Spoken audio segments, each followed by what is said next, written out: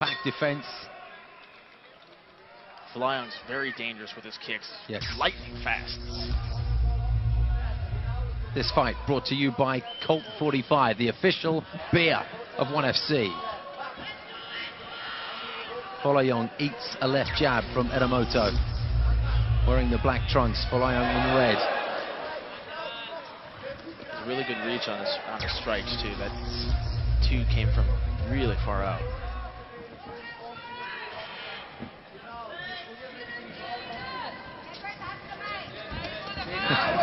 The smart Araneta Coliseum in, in almost silence until Edward threw that right leg kick.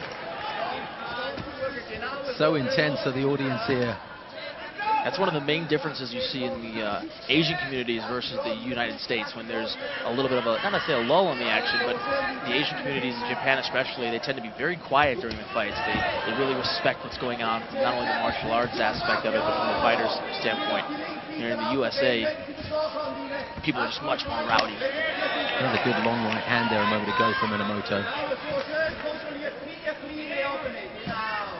Both guys taking the first minute and a half here to feel each other out, engage that distance. Ooh, nice right hand, and it followed it up with a nice leg kick. And then the left hand came in as well, and another kick. Using his left leg there to damage the right side of Enomoto.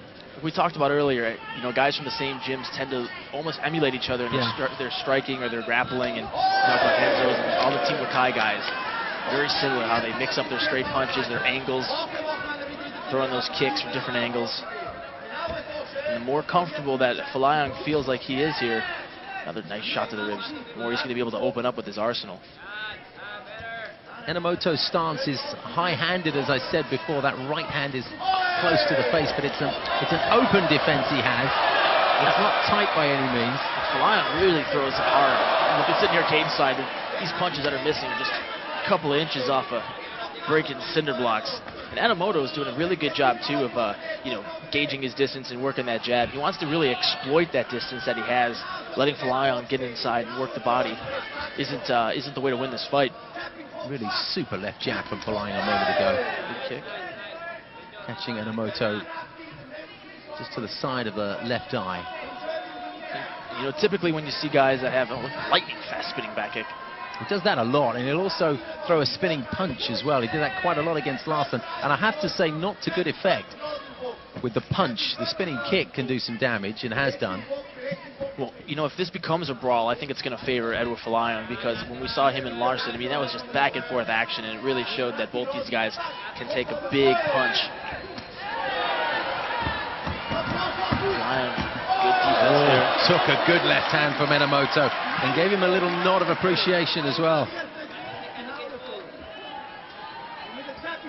You know, I think Enomoto is still having a, a, difficult time finding his range here. He hasn't really landed anything on on uh, Folayang. It's been too detrimental. I really like to see him work that jab a little more since, he, as you pointed out, he has that reach advantage.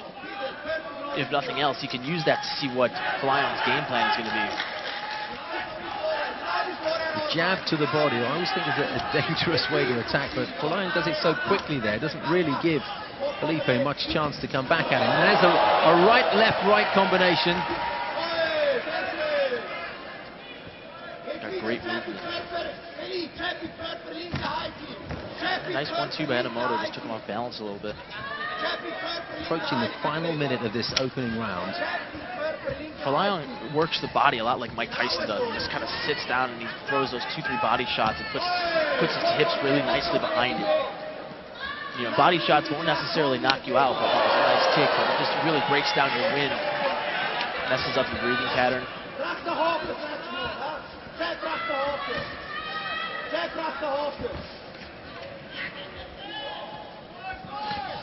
Enomoto's a little stiff boxing. He's got good movement. He's flicking that jab out there, but yeah. his, his combinations, he's been throwing with his head up. Yes, I agree.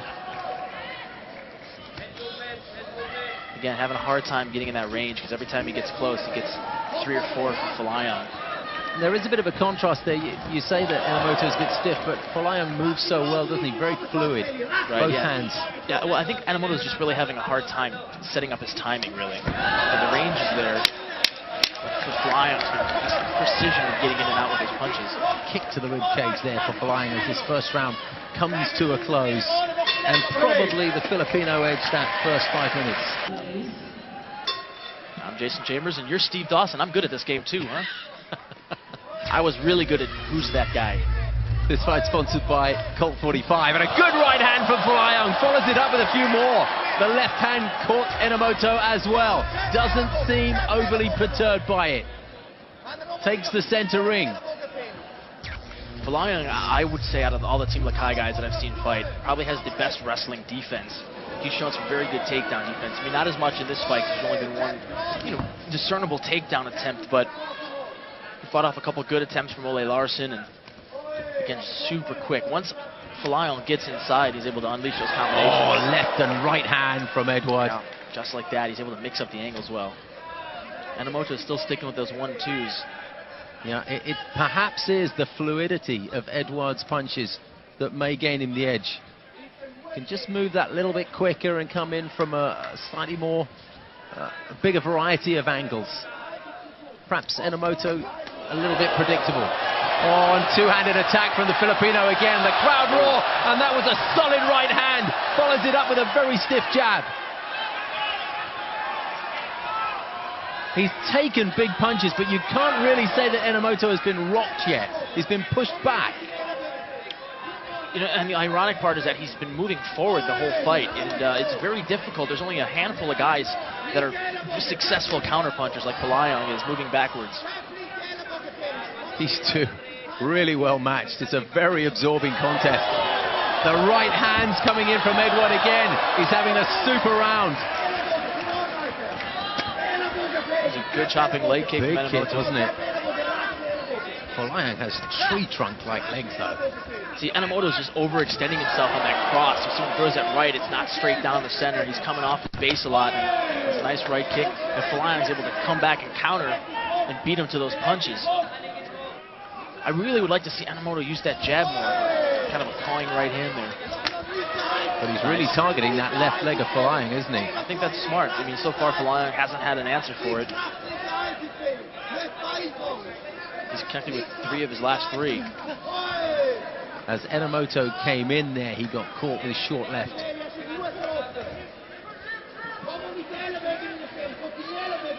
The amount of times that Edwards spins round in a contest, I don't think I've seen any any fighter do that quite so much. Left and right.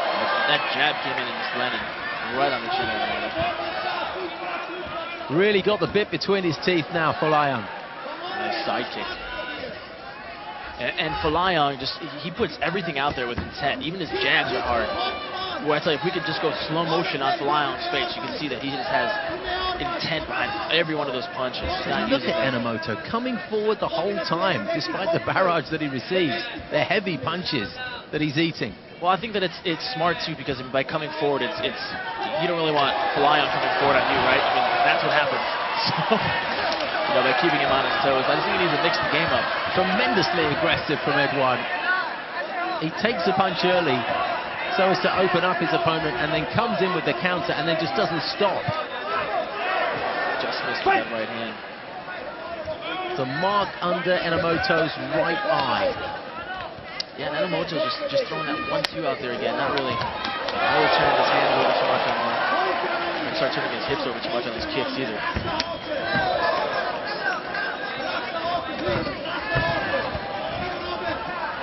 And action is furious here. What an entertaining contest this is. Lion did a good job there, and stuffing the shot. One minute left in the second round. You see, Folayang has, has good instincts. He knows when Enomoto's inside of the shot and he needs to make his number one priority to, to, to, peel him up there and to fight that hand grip and head placement. He's not trying to reach over him or throw anything crazy to knock him out while he's getting the takedown. He knows that that's the immediate threat here to fight.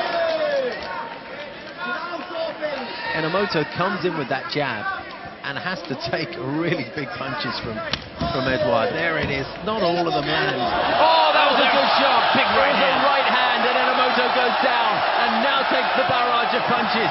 Looking to finish him here. coming from Enomoto's nose. The punches still come down. I don't know if he's going to have enough time here 15 seconds left. He's got to be careful he doesn't get caught with an armbar here by throwing those punches. Just able to survive. He's got 10 seconds left in this second round. The crowd are on their feet at cage side. Hammer blows from Folayang. It's not going to be enough.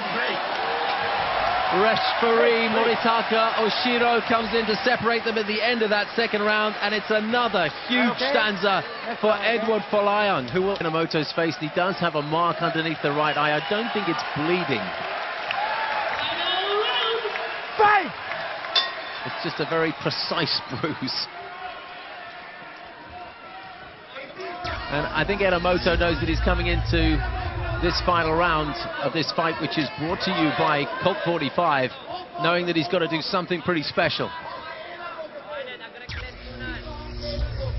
Well, there's definitely the sense of urgency now. I mean, you're, you're 15, I'm sorry, you're 10 minutes into a 15-minute fight. The takedown hasn't really been there for you, and the punches, you've been getting the, the short end of the stick on, so this is where you need to start Oh, versatile. Good shot from Enomoto. A shower of sweat and moisture came off Folayang's head. And you heard the slapping sound here, cage side. You know, if Enomoto put together a couple more combinations, I think he could open up that shot more on Folayang, but he's just throwing one, two, and he's he's backing off because Folayang's coming in there. Just like that, he threw one, two. You know, sometimes he's connecting with that because of the extra reach, but anytime he's tried to really put together a bigger combination, Folayang's gotten better on the inside. I'm trying to get a good look at this. I think Enomoto is bleeding from the nose. He keeps pawing at it as well. Blood's not streaming down, but... Uh, but Enomoto, you know, to his credit, still has a lot of gas left in the tank. You can tell he's, oh, he's yeah, light he's on his well. feet. Yeah. In fact, he's looking a little bit more fluid than he has done in the first two rounds, where we, we both remarked that he was a little bit stiff. Ed, Edward nearly stumbled there again after that spinning kick that he likes to employ. Well, Edward Folayong is definitely a difficult guy to take down. And it's smart, you know, he plays to his strengths. Obviously, in mixed martial arts, you want to train everywhere, but if primarily you're a striker, left and right from Edward, tuning up that wrestling to help uh, keep the fight where you want it's going to be key. Oh, that was a big haymaker. It wasn't really anywhere near the target. But it just shows how much energy Edward has He's really fit for a three, five round, three round of five minute contest. Oh, and he took a big right hand there when he was off balance and stayed up.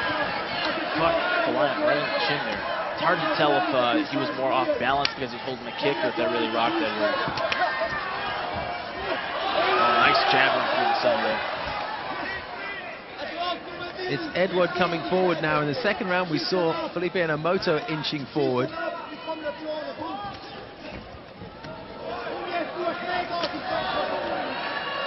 He throws, he puts everything into his punches, Folayong. Sometimes they perhaps lack a little bit of finesse, but when he lands, he really lands. Yeah, he swings for the fences. There's no doubt about that. He's not trying to win a point-scoring contest. Just took a big, that big stiff left jab from Enomoto and brings the knee up as well. The Japanese fighter spends much of his time in Switzerland. Where he has his own gym, works very hard with his brother. You know, Felipe Namoto, he's very tough. I mean, this guy has fought a few different UFC vets, so he, he knows what it's like to be in there with, um, you know, with high-level guys. Fought Rich Clementi back in 2010 completely different fighter than Edward Folayong is, but you know, so that wealth of experience that other guys have had in there, he knows how to weather storms and, and see those openings. These two have been in each other's faces since the start. They're not giving any ground. Know, there's one thing we learned from the uh, uh, the um, fight he had with Ole Laursen that you really can't count Enomoto out because this fight looked almost identical with Ole. Sure, he pulled that one out the bag, didn't he?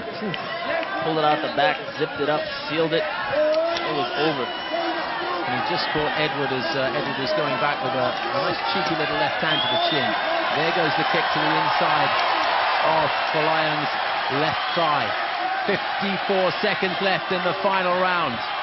And the crowd here making a bit of noise, knowing that if things continue to go this way, their man, Edward Folayong, has a very good chance of coming away with a decision.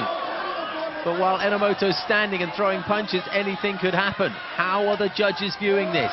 Looking at the fight as a whole, not round by round, remember. Two great athletes, giving absolutely everything. Not once have they tried to take a breather, and Enomoto goes down. Open attack single by the referee. Enomoto with his hands behind his head. We're in the final 10 seconds, and you figure not a great deal's going to happen in that time. But down goes Edward. One last flash of him, but he got kicked back and had to retreat. That's the end of the fight. And both men show the respect that you always knew they would. And it goes to the judges' decisions. Felipe Enomoto's brother comes out, congratulates both men. A fight fought in tremendously good spirit.